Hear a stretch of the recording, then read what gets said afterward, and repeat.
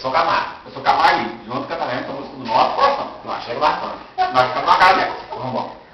No dia que eu saí de casa, minha mãe me disse, filho, vem cá. Passou meus cabelos, e meus olhos começou a falar. Por onde você para, filho, com os pensamentos,